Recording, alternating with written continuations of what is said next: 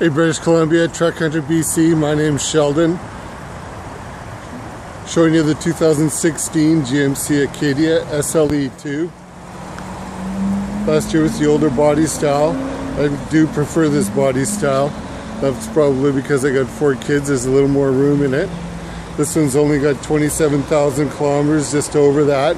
As an SLE2 means it has power lift gate, heated front seats with a high grade cloth interior, and it's got the panoramic sunroof, which I'll show you in a minute. Of course, it's got alloy wheels, it's got a rear backup camera too, and it does have the rear parking sensors as well, and it does have a power lift gate.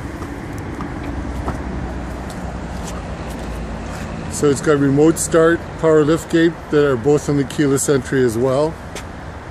Got a lot of room in the back, not quite as much when the third row is up, but when it's down, there's a lot of room for carrying stuff, whether it's groceries, hockey bags, whatever the case may be.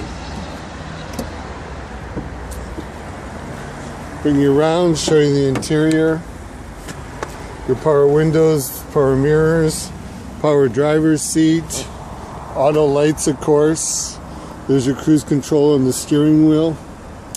And over here is your voice command and your channel changing buttons, your source ch changes the uh, um, uh, from AM to FM.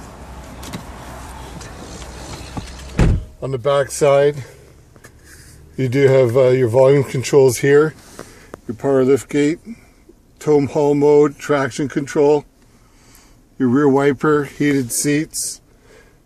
Everything's here. My name's Sheldon, 604-362-2922, Truck Hunter BC in Duke, Richmond. Thanks for checking in.